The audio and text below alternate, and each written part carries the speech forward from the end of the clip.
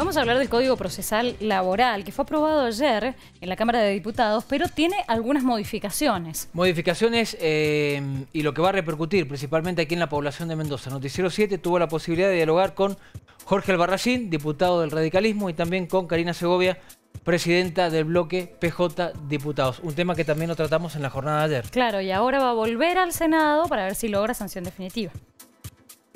El objetivo del Código Procesal Laboral es agilizar los procesos, porque sabemos siempre que en este tipo de casos hay un trabajador que tiene eh, que cobrar una indemnización, ya sea por un despido o por una incapacidad, y los periodos hoy promedio están en los tres años, en algunos casos están en cinco años. ¿Para qué?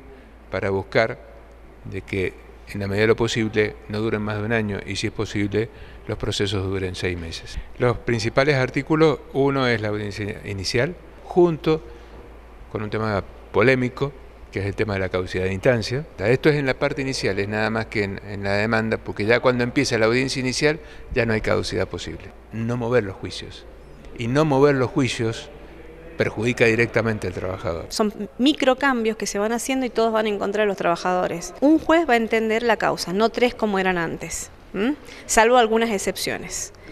Entonces, este juez único va a decidir una causa y la única instancia de apelación que va a tener el trabajador es ante la Corte Suprema de Justicia a través del recurso extraordinario, cosa que es muy difícil de llegar a la Corte. El otro punto es que una eventual pérdida de derechos por parte de los trabajadores al introducirse la caducidad de instancia como instituto dentro del proceso laboral. ¿Crees que esto va a acelerar el proceso?